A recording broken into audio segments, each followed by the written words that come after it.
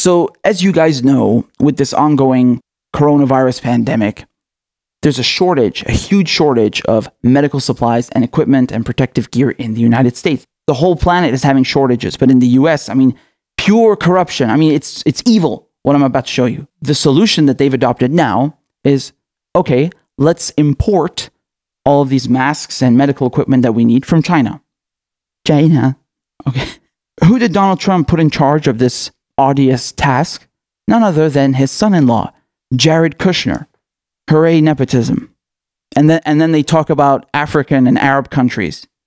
So, this guy, a few months ago, he screws over Palestinians by giving away land that isn't even his to the illegal occupation by the Zionists. And now he's screwing over Americans by giving away the medical equipment that you need to private corporations who then sell it to the highest bidder. So, he's organized about 20, 30 flights going from Shanghai to JFK, bringing this medical equipment. So you actually, the taxpayer, your taxpayer dollars, bought this equipment and paid for these flights. Now, what do you think happens with this medical equipment when it gets to the United States, when it gets to JFK? It's going to private corporations. Yes. What the fuck? Why? So you had a reporter from the Washington Post asking an admiral, where is this medical equipment going? Is it going to hospitals, to the states that need it, or is it going to private corporations? And look at how he dodges the question because he can't give her a straight answer.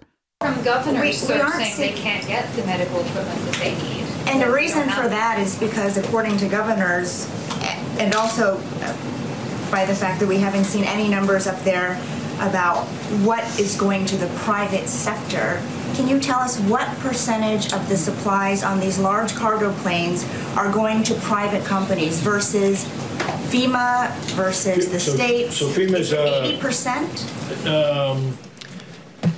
So, uh, this product that we're moving is primarily uh, commercial product that would enter the commercial system and be distributed through uh, financial business transactions between hospitals and these distributors. So Just to clarify, that's, that explains why states say they're bidding like they're on eBay, because the supplies are going to the private sector, and then they have to go there to get the That's, uh, supplies. that's normally how things, uh, that's normally how things work, right? So I'm, I'm not here to disrupt uh, uh, a, a supply chain. Say, look, these, these six distributors, six, seven, they have six to 700 warehouses. They have trucks to go to the hospital door every day. We're bringing product in. They're filling orders for hospitals, nursing homes, like normal. I'm putting volume into that system. I would say that that we're we have the data now. The last so we put together this uh, data element over the last you know what 13 days. Get the people in, look at the problem, build this. I am now seeing truth about what's in the supply chain, and I would say that um, there's been some abnormal behavior. Okay. Yes, the, uh, thank you, Admiral. abnormal behavior. What? She's asking him a very good question. Said these cargo planes that are coming from China with all this medical equipment, where is the majority, where's the bulk of that equipment going? To the hospitals? To, to the states who need it? Or to private companies? And he didn't want to answer. You know why? They're giving it to a few corporations who are then selling the masks, the gowns, the ventilators, all of the medical equipment to the highest bidder. Yeah. They're they're running auctions between states. There are states competing for medical equipment and you ain't even heard the worst of it yet. You ain't even heard the worst of it.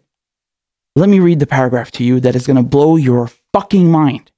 The buyers from state government purchasing departments and hospital systems representing facilities throughout the Northeast, Midwest, and California expressed desperation for masks to protect their healthcare workers. But in the end, not a single deal was completed with any of these groups, and millions of masks were earmarked to leave the country purchased by foreign buyers. it's not just a question of survival of the fittest, dog eat dog, you know, we'll give it to the highest bidder. No, no. We'll give it to the highest bidder, even if they're in another country, because we, the corporations, we don't give a fuck about American lives. We care about money. And if the money comes from you or the money comes from them, it don't fucking matter because we fill our pockets. Fuck you. You have governors right this very minute asking, Where are my fucking masks? You told me you were going to send me medical supplies. Where are they? Now you, you guys know where they are. They're probably in another country, even though they were already delivered to the US at JFK. But, you know, a bigger capitalist, a bigger fish bought them out. So, you know, too bad. Your nurse says they're probably going to die, some patients. Doesn't matter. Money is always first, not you. So then Jared Kushner, he goes on television and tells people that the strategic national stockpile is not meant for federal states to use, even though that's a flat out lie. And you have in- instances where in cities they're running out, but the state still has a stockpile. And the notion of the federal stockpile was it's supposed to be our stockpile. It's not supposed to be state stockpiles that they then use. So we're encouraging the states to make sure that they're assessing the needs, they're getting the data from their local. Uh, s- local uh, situations, and then trying to fill it with the supplies that we've given them. The same thing with the masks. So the N90 He's trying to tell you that, look, uh, the states, they got their own stockpile, our stockpile, the federal one, no, you can't have that. That's, that's not for you guys. That's, that's for us. What? No, wrong, wrong, completely wrong. Right after he said this, Jared Kushner, the next day they changed the writing on the website so that it looks like he didn't contradict himself. Unbelievable. Like, th- this is some Stalin-esque kind of work. So this is how the website looked before, okay? When state, local, tribal, and territorial responders request federal assistance to support their response efforts, the stockpile ensures that the right medicines and supplies get to those who need them the most during an emergency. All right? That's what it looked like. And then as soon as he messed up, the next day they changed the website and removed that part. Where's the part about helping state, local, tribal, and territorial responders? Oh, it's gone. Magic. From one day to the next. You know how they talk about North Korea censoring things? I mean, what is this? Dude, it, it's, it's not even that big of a gaffe. Just apologize and give people some fucking masks. Now, that is if you have any. Because what I think happened is Mr. Jared Kushner, he let the truth slip out. Okay. He had a little Freudian slip, right? Because he's been having such a big fucking boner every day about all this money he's making, the nice cuts that he's been getting from his friends in the private sector who are now taking all this medical equipment and selling it even outside the United States that he couldn't think properly and it came out. He said the quiet part out loud. He told them the truth that this federal stockpile, you thought it's for you, but it ain't. It ain't for you because I control it now and I'm making some nice fat wads of cash behind your backs. You, the taxpayer, you're buying masks, gowns, respirators the first time from China, right? This is your first bill. So you- you've already paid for them, they belong to you. FEMA flies them over to JFK, but, but now all of a sudden they don't belong to you anymore. What? Oh no, because Jared Kushner is giving them away to private corporations. And then you have states bidding between each other. And how do you think they pay for that medical equipment? Oh, another, another bill with your fucking money. So you're paying twice. You're paying twice for the same thing. Just so Jared Kushner and his friends in these little companies can rip you off and make a buck. I mean, th- this is evil. This is really evil. The lengths that they go to to make money during a pandemic. It's like they just don't care. Any sensible, civilized nation, any civilized society would have nationalized the entire healthcare industry, mm? especially during a pandemic. I mean, how morally bankrupt are you to be doing stuff like this? It's astonishing. It really is. They changed the website to say that, oh, the federal stockpile of masks and medical equipment is not accessible to states and uh, other localities. And then one of the reporters asked Donald Trump about that, and he lost it. said the notion of the federal stockpile was it's supposed to be our stockpile. It's not supposed to be state stockpiles that they then use. What did he mean by our? Oh, why didn't you ask him? And I mean, uh, given the fact that taxpayers from What's that? every I got state you. pay I for it. No, it's the not word our. gotcha. What Our, you know what our means? United States of America. That's what it means. It With means the states. our, our. It means the United States of America. And then we take that our and we distribute it to the states. So why did you Not say that we it's not to. supposed to be state stockpiles that they then Because we need it for the government and we need it for the federal government. But To when the states are in, tr- no, to Then also you keep, giving it to if it's not to the states. to keep, to keep for our country because the federal government needs it too, not just the states. But out of that, we oftentimes choose, as an example, we have almost 10,000 ventilators, and we are ready to rock with those ventilators. We're going to bring them to various areas of the country that need them. But when he says our, he's talking about our country. He He's talking, excuse me, he's talking about the federal government. I mean, it's such a basic, simple question, and you try and make it sound so bad. You ought to be, I, you ought to be trying to ashamed of yourself. No, you know what? You ought to be ashamed. way, It's such a simple question. He said our, and our means for the country, An our means for the states because the states are a part of the country. Don't make it sound bad. Don't make it sound bad. Go ahead, Steve. Go ahead, back here. You just even change the You just language asked your question. You just asked your question in a very nasty tone. It was nasty. Let's go. You didn't give me Uh, an answer. Please. Mr. President, I gave you a perfect answer. You know it. Go ahead. I don't like your tone.